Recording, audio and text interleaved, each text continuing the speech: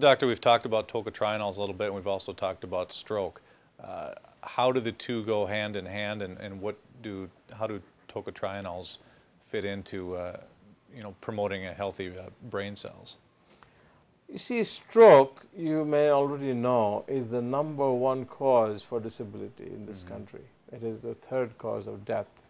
Mm -hmm. when you're dead, you are dead. There's nothing to worry about beyond that. But when you're living and you're crippled, it's enormous uh, torture, not only for the person involved, but it's a big cost to the society. So stroke is something that uh, you know needs more studies. If you really look at what is out there today, once you have stroke, very little, very little. Mm.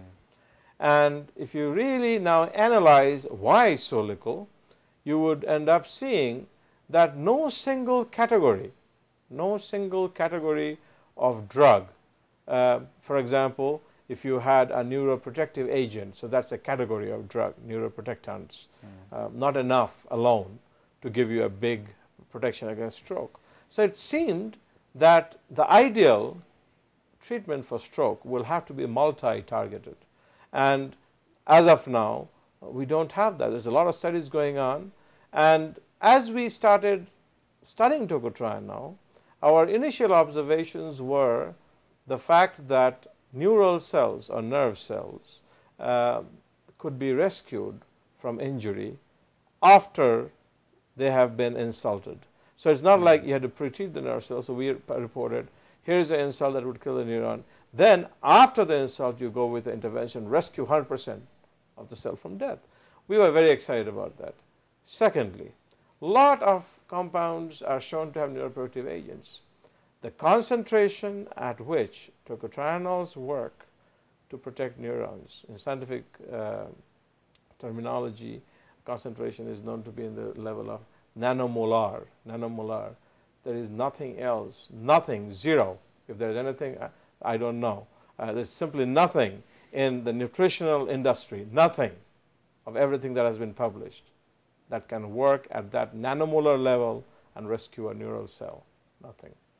Not only that, once we saw those cell studies and we went in vivo, meaning in the intact animal studies, mm -hmm. and we started feeding them, tocotrienol levels obviously uh, are kept uh, low in the circulation.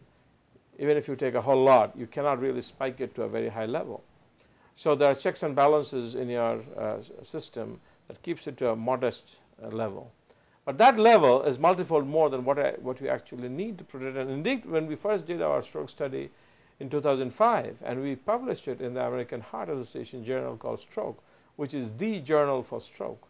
And, and we demonstrated that hypertensive animals, when given tocotrienol, can be um, uh, can, can, can rescue the brain against stroke-related injury. And, and that's huge because even if you have um, some rescue of some part of your brain. This may mean mm. that you could not talk and now you can talk. This may mean your left hand was not lifting and now you can lift. Mm -hmm. So, so depending on what part of the brain, you know, any benefit in the brain, manifestation is likely to be huge with respect to your life quality and what you can do in mm. most cases. So we were very excited about that. And then beyond that, lot, there are a lot of small animal studies that show protection against stroke but then that doesn't translate to humans. So the recommendation has been that go test your product in a large animal setting. So we started a study with uh, canines, you know, large mm -hmm. uh, canines. And uh, using the system, we just published in 2011 that we see even better, better than the rodent studies. Uh, and, and the canine brain, by the way, with respect to gray matter, white matter that we have in the human brain, sure. much closer with respect to anatomical considerations of the human brain, much closer the canine than the mouse. And the canine brain is showing even better than what we saw in the mouse. So we are very excited and therefore we are now undertaking clinical studies.